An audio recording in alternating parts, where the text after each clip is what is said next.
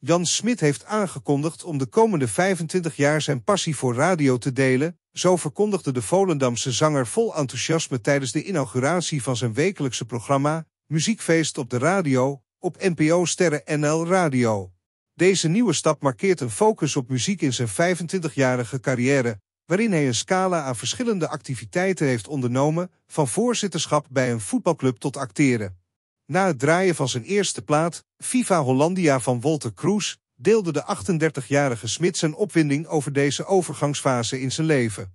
In deze fase ben ik aan het afbouwen en wil ik me concentreren op muziek. Het maken van radio is voor mij een prachtige stap om de komende 25 jaar te zetten.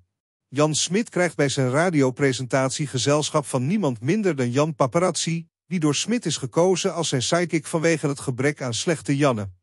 Met een vleugje nervositeit gaf Smit toe, ik ken al die knopjes niet en weet niet hoe al die jingles werken. Daarom ben ik heel blij dat jij er bent als backup.